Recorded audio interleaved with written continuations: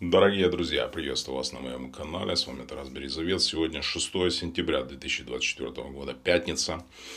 Состоялось очередное заседание группы по поддержке Украины на американской военной базе Рамштайн Федеративной Республики Германия. Туда приехал президент Украины Владимир Зеленский. Там же находилось руководство э, наших союзников.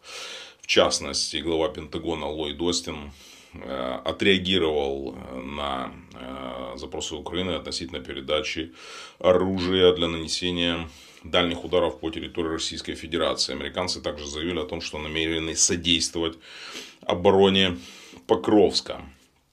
В Соединенных Штатах продолжается напряженная избирательная кампания. Трамп намерен э, взять теперь уже официально в качестве своего советника и союзника Илона Маска. Он предложил ему пост эм, в новом американском правительстве, а также откомментировал слова Путина, когда он заявил о поддержке Камалы Харрис. Тем временем Соединенные Штаты собрали крупнейшие технологические компании и попросили их подумать над тем, каким образом обойти интернет-цензуру в России с помощью VPN. Это направлено в первую очередь на разблокирование YouTube. Кстати, ближе к вечеру стало известно о том, что в результате досадаки российский импортозаместитель YouTube, Рутюб они его называют, упал. Но это не первая история с ним а падения.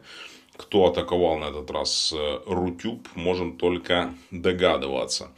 Также Соединенные Штаты обнаружили подводный секретный флот России из не менее чем 50 судов, цель которого э, разрушение э, интернет-кабелей, повреждение морской инфраструктуры и также нанесение ущерба критической в том числе газа и нефтепроводам. Называется это Э, ведомство, которое этим занимается, Главное управление глубоководных исследований Минобороны. Сокращенно такая немного смешная аббревиатура ГУГИ. Тем временем, на фоне сближения России и террористического движения «Талибан», э, власти Кыргызстана в пятницу э, исключили Талибан из списка террористических организаций. Все это, кстати, произошло на фоне крупной передачи Российской Федерации партии автомобилей, а также другой техники для нужд Кыргызстана. Это произошло в то время, когда российская армия сама остро нуждается в подобных автомобилях. Наконец, Wall Street Journal подтвердил информацию о том, что Иран передал России партию баллистических ракет, о чем сообщалось ранее. Друзья, обо всем этом поговорим далее. Итак, начнем с Трампа, который предложил сегодня Илону Маску э, войти в состав нового правительства. И Илон Маск уже фактически согласился. Он ранее заявлял о том, что готов перейти на государственную службу. Э, это будет, наверное, едва ли не первый случай, когда миллиардер займет э, должность в правительстве США. Ну, имеется в виду самый богатый человек США. Такого точно на моей памяти не было. Ну, в президенты избирались миллиардеры, а вот чтобы становиться просто членами правительства такого точно не было. Круг обязанностей Илона Маска э, до сих пор, честно сказать, непонятен. Он, очевидно, будет настолько широк, что главная задача это просто затянуть Илона Маска.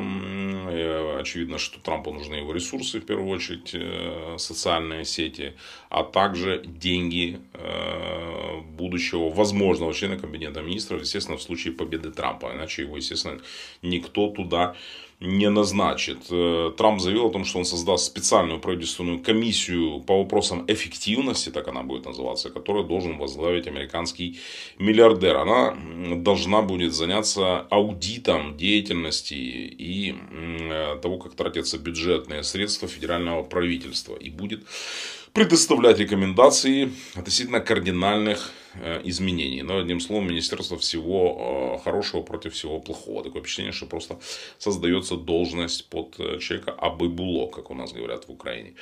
Кроме того, Трамп затруднился прокомментировать слова Путина. У него всегда наступает ступор, когда его просят прокомментировать слова Путина. На этот раз Путин, выступая на Восточном экономическом форуме, в Владивостоке публично поддержал Камалу Харрис. Ну, правда, выглядело это, естественно, в его иезуитском стиле скорее как издевательство. Тем не менее, Трамп заявил, что он не знает, как реагировать на слова Путина. О том, что Кремль якобы поддержит Камалу Харрис. Не знаю, оскорблен ли я или он оказал мне услугу, заявил Трамп. Ну, очевидно, Путин делает это для того, чтобы в очередной раз не быть обвиненным в поддержке Дональда Трампа. Э, также представитель Совета национальной безопасности США Джон Кирби призвал Путина не комментировать вообще американские выборы. Он заявил о том, что США были бы очень признательны, если Путин перестал бы говорить о выборах и вообще забыл о них.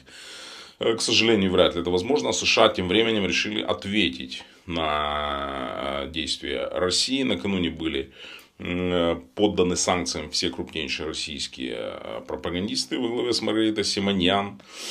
А сегодня стало известно о том, об этом пишет Reuters, что представители Белого дома э, встретились с э, руководителями крупнейших технологических компаний США, Google, Microsoft, Cloudflare, Amazon, и попросили их создать специальный софт для увеличения пропускной способности финансируемых американским правительством программ VPN, виртуальные частные сети, так это называется. Virtual Private Networks, э, один из самых главных средств обхода блокировки интернета в тоталитарных, авторитарных странах типа Ирана, России, Беларуси и прочих. При этом американцы увеличили финансирование до 30 миллионов долларов на развитие подобных э, технологий. И э, в первую очередь это направлено на то, чтобы российские граждане, на них это ориентированная программа, смогли пользоваться заблокированными интернет-ресурсами. И в первую очередь, конечно же, смогли воспользоваться Ютубом. Сегодня как я уже сказал, положили неизвестные хакеры в результате DOS-атаки Рутюб детище российских пропагандистов, которые они очень сильно рекламировали, как самое лучшее из всех, как говорится, возможных для того, чтобы э, заменить и заманить России, россиян из, из Ютуба теперь в Рутуб. Вот, туда же, кстати, они э, э, грозятся закачать просто целые пласты Э, фильмов, документального кино, музыки, чего. То есть пиратские украсть, попросту говоря, в Ютубе и закачать их в Рутуб для того, чтобы россиянам не было повода заходить и смотреть вражеские, вражескую сеть YouTube. Также американцы обнаружили, как заявил об этом телеканал CNN со ссылкой на два высокопоставленных американских чиновника, деятельность засекреченного главного управления глубоководных исследований ГУГИ. Честно говоря, я его деятельности слышу впервые, но, очевидно, об этом знают профильные специалисты. То, что оно создано не вчера, это понятно. Вот и самое ГУГИ Минобороны РФ – это целый координирует э, секретный флот, состоящий из 50 судов. Сообщается о том, что Россия развивает военно-морские возможности для подводных диверсий, главным образом через ГУГИ. США э, вынуждены регулярно отслеживать деятельность российского секретного флота, который действует в первую очередь в Северном море, в Балтийском море, но не ограничивается, безусловно, им. В прошлом году было проведено совместное расследование Швеции, Дании, Норвегии и Финляндии которая подтвердила наличие у России целого шпионского секретного флота, который действует в водах Северной Европы. Также э, сообщается о том, что Россия выделяет все больше и больше финансирования на подразделение ГУГИ, в том числе для того, чтобы подрывать безопасность. Ключевая задача – повреждение морской инфраструктуры, подводные э, кабели, особенно в период обострения напряженности э, и также это может привести к серьезным проблемам для союзников в особый период. Особый период, то есть это период войны. Подобное действие э, также сопровождается, как я недавно рассказывал, использованием боевых э, морских животных. В частности, был обнаружен убитым э, кит по кличке, как его назвали, Хладимир. И на нем была обнаружена шлейка, с которой слетели камеры э, специальное слежение. Предполагается, об этом писала западная пресса, предполагается то, что он мог использоваться э, для слежения за военным флотом э, стран НАТО. Ну, это, скажем так, предположение. Также телеканал CNN получил в свое распоряжение два видео расстрела украинских военнопленных, которые сдавались и согласно э, нормам Женевской конвенции им должны были сохранить жизнь. Э, сообщается о том, что всего с начала войны э, Генеральной прокуратурой Украины расследуется 28 инцидентов, в которых погибло по крайней мере 62 украинских военнослужащих. Также этим занимается специальный докладчик ООН по вопросу о внесудебных казнях Морис Титбол Бинс.